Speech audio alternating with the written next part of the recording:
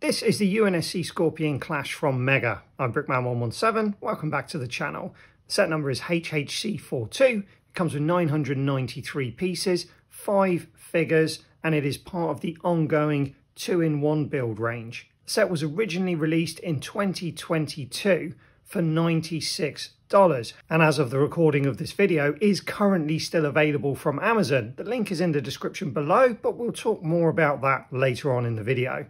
As far as box art goes, we've got the standard Master Chief down one side of the box. We've got the figures included with the set down the other side of the box. On the top of the box, we've got the new Mega logo with the figures again. And on the rear of the box, we get a nice image of what's included in the set, as well as a description of the weapons, and some of the interactive features with the tank itself. The unboxing experience was in line with their current format and inside the box you've got eight plastic bags, not paper bags sadly, and the instruction manual itself. No sticker sheet because as we all know Mega have been printing their parts for many a year now. And here it is, the latest iteration of the Scorpion tank from Mega.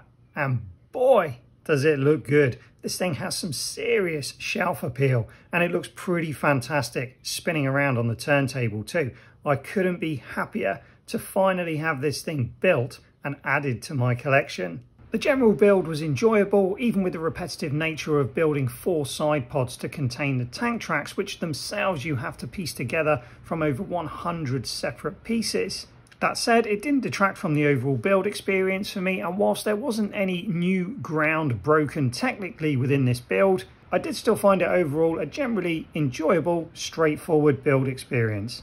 When it comes to features, there's plenty to be had on the new Scorpion. We'll start at the back with this very well concealed smuggling compartment. The instructions suggest it's a place to store the tool chest that comes with the set, but we all know it's actually a way to smuggle Moa burgers and other contraband to the forces on the front line.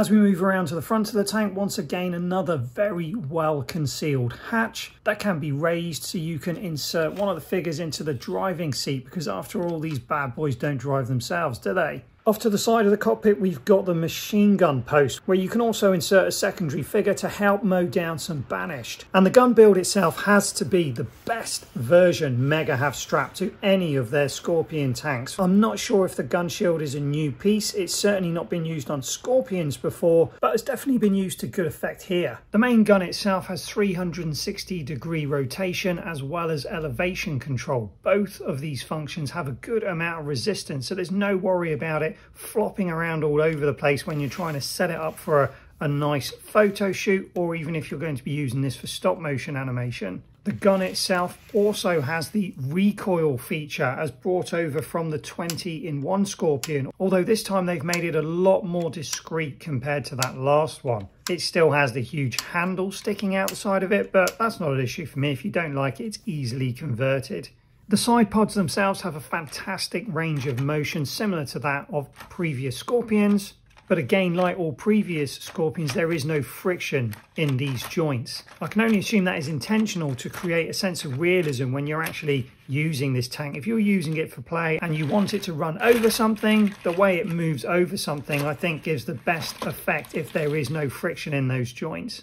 As for the tank tracks themselves, I mentioned earlier, you have to assemble them piece by piece, which some people might find tedious. I don't mind it myself, and Mega have made it much easier by getting you to create this small little jig using these three orange pieces, which allows you to just clip the individual pieces together very, very quickly and efficiently. I would say the most challenging part of this process is once you've got that big long link of tracks, into the pod, getting them to connect one end to the other can be a little bit tricky, but once you've done one and you know how it works, it's not too bad. And that's about it for functions. The only thing left to talk about is the detailing of this before we move on to the figures and some of the other parts that come with this set.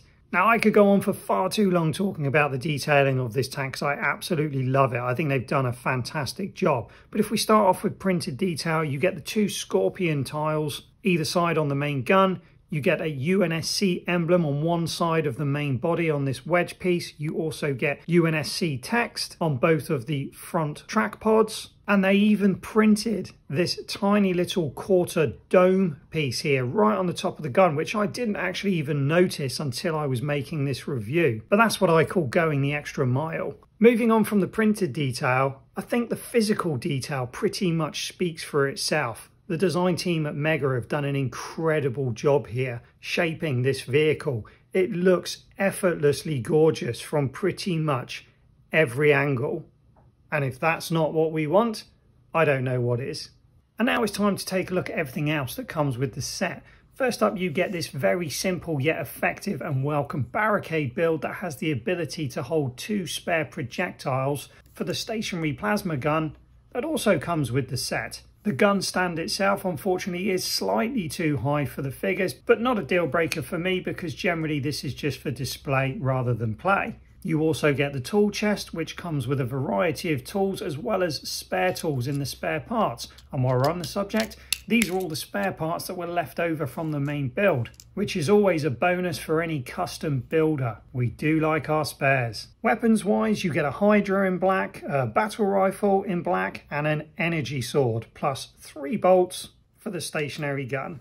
In regards to figures, you get a pair of hunters which are almost identical aside from some battle damage to the chest of one of the hunters. They are, however, identical to the hunters that came in the Wasp Onslaught set. You also get an Elite Warlord in gold, which is an absolutely fantastic figure. And I'm so glad that they got the gold right for this figure because I think we all wanted this figure. You also get a generic UNSC Marine. This one comes with desert camo fatigues as opposed to the general fatigues we've seen so far in the Infinite Range and the named character of the set, which I'm sure you all know, Spartan Stone. Looking absolutely exceptional with that digital camo effect all over the chest armor and helmet. For anyone wanting to see these figures spun 360 degrees to get a real good in-depth look at them, be sure to visit my channel and check out my shorts playlist. I regularly update a playlist there which features all figures both new and old every time I get some I film them and add them to that playlist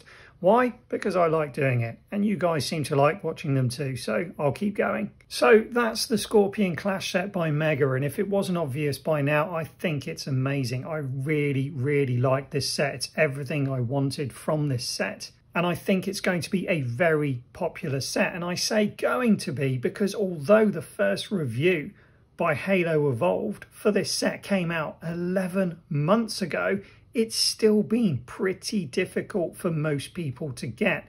And that's one of the reasons it's taken me this long to actually produce a review for this set. I was very late getting it and then I've been busy, so it's been delayed. But again, now could be a good time for this review because over the past couple of months, Amazon have finally had this set back in stock and it seems to be coming back in stock more and more frequently. As I said earlier, the recording of this video, it is currently available to order. It does say currently out of stock, but you can still pre-order it for retail. I mentioned earlier, the affiliate link is in the description below. If you want to support the channel, use that link. I'm sure there will be a wait for it to come, but the signs are looking positive that Amazon are getting restocks, not just for this set, but other sets as well. I hope you enjoyed this review. And as always, thanks for watching. Don't forget to subscribe and we'll see you next time.